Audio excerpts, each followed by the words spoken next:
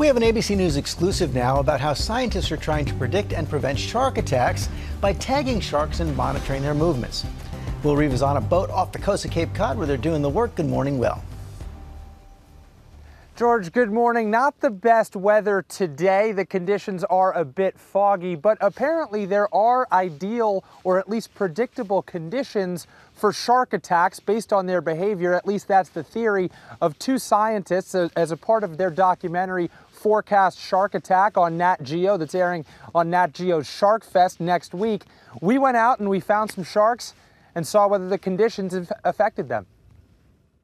After a series of shark encounters off the Carolinas in 2015, these two scientists went on a mission. Fast, fast. Now, Dr. Greg Skomal and National Weather Service meteorologist Joe Merchant are showing us firsthand how they're testing a revolutionary new theory on forecasting shark attacks. Joe believes a weather condition called a sea breeze may set off a predatory chain reaction, bringing nutrient rich deep water closer to the surface, attracting tiny marine life that feed on the nutrients. Those small creatures attract larger fish, which in turn attract the ocean's largest predators, sharks, on the hunt for prey.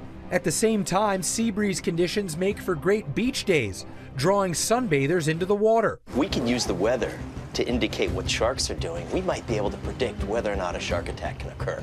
I'm really excited to work with Greg to show him that my hypothesis is correct, that the wind and the weather have an effect on where shark location is. They say sea breeze at the sites of many of those attacks was a factor. Lead the way. So far, Skomal and Merchant have gathered data in the Bahamas, and today the research continues in Cape Cod. What are we hoping for?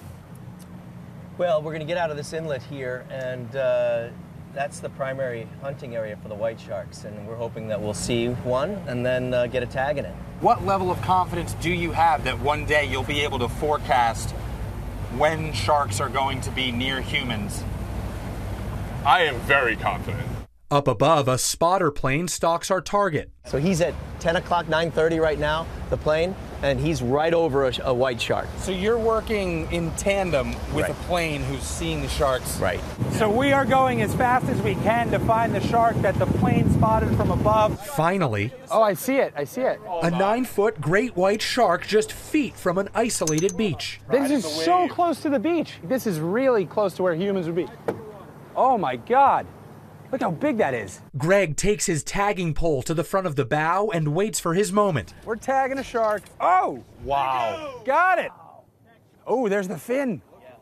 Once the tag's in it, we'll start learning from that fish. One of the things we're trying to do is get a, a sense of what drives the behavior of these sharks. Certainly it could be weather conditions, it could be water temperature. So we're testing all these various factors to see if there's any patterns, including Joe's ideas, that drive the behavior of these sharks. Sharks like James, a 14 footer and a regular at this beach every summer. He's dead ahead.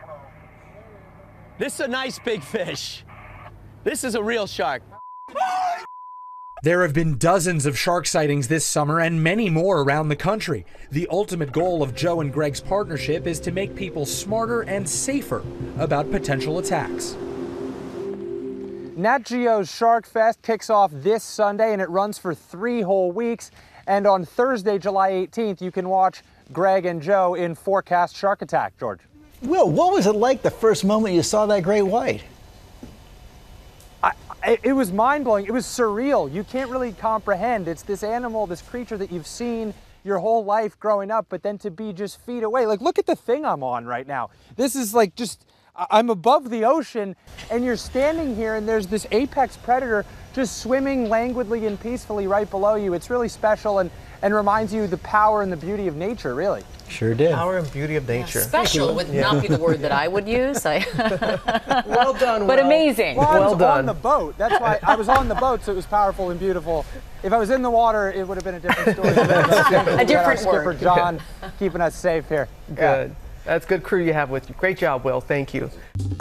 Well, hey there, GMA fans. Robin Roberts here. Thanks for checking out our YouTube channel. Lots of great stuff here. So go on, click the subscribe button right over right over here to get more of awesome videos and content from GMA every day, anytime.